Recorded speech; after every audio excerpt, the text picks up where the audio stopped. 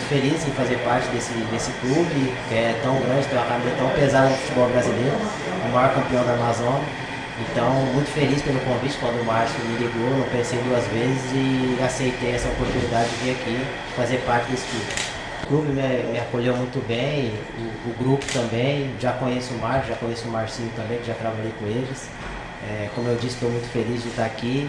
É um clube que, que, que tem tudo para conquistar os objetivos nesse ano. É, o, o tão sonhado acesso, então mais um para somar para conseguir os objetivos do clube. O grupo está muito bem, né? Está tá fazendo uma ótima campanha aí no campeonato. Para a gente que está chegando é muito bom, porque o, o grupo já está, querendo ou não, já tem uma confiança, já é muito bom para a gente chegar no clube bem organizado, um grupo que que está fazendo uma ótima campanha e a gente veio para agregar e ajudar a conquistar o objetivo do clube. É, primeiramente pelo tamanho do clube, né? Paysandu, querendo ou não, é, no cenário nacional é um grande clube de futebol brasileiro e o Márcio também me convenceu a vir para cá. É, não pensei duas vezes, como eu disse, para vir para cá, porque o Márcio cara que dispensa comentário e eu já trabalhei com ele. Então quando ele me ligou, não só aceitei o convite e vim pra cá.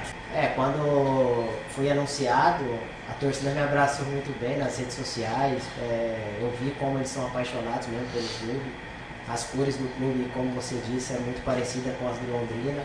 É, creio que vai cair muito bem e se Deus quiser vamos ter sucesso aí nesse, nessa competição. Então, eu vi poucos jogos né, do Mikael, mas pelas informações que eu tenho, ele é um grande jogador, é, tá fazendo bem o seu papel no clube. É, vai ter uma disputa saudável, como em qualquer, outro clube.